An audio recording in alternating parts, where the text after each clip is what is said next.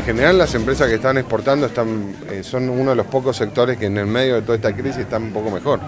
porque tienen tipos de cambio muy competitivos, inclusive hay muchos industriales que han comprado productos primarios a precios muy bajos y que es algo que nosotros hemos lanzado, por eso el plan de compra de vino.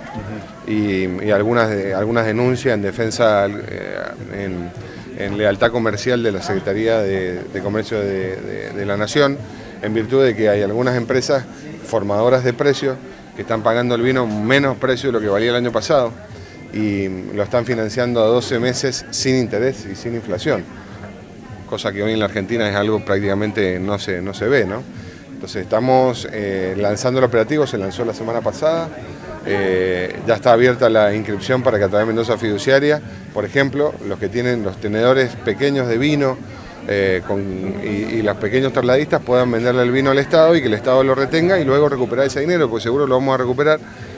cuando falte vino, que siempre pasa en los ciclos de la vitinicultura, y ahí podamos venderlo. Eh, existen otros ejemplos, como es el caso de la ciruela y otro caso donde realmente hay el industrial ah, que exporta, que tiene grandes salidas exportadoras, están teniendo beneficios especiales por un dólar de 60 pesos,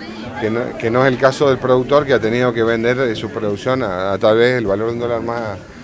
eh, anterior a la devaluación. Tenemos la suerte de, haber construido una provincia en estos tres años y medio que puede recibir los impactos de una situación de una devaluación, como pasó en el mes de abril, mayo del 2018, y continuar con el plan de obra. Nos sacaron el reloj de la deuda del peronismo que no había pasado nunca en la historia de Mendoza, y igual seguimos con el plan de obra. Y, somos tan porfiados que a pesar de esta devaluación vamos a seguir con el plan de obra, pues tenemos un gobierno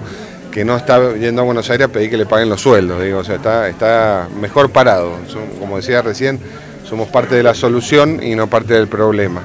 Eh, respecto a, lo general, las empresas tienen sus problemas, los estamos ayudando como podemos, en algunos casos tratando de agilizar los pagos para que ellos puedan tener menos exposición financiera por estos cambios de precio que ha habido y por supuesto el sistema de obras de la provincia prevé eh, una adaptación a los precios que demora 30, 60 días pero finalmente llegan.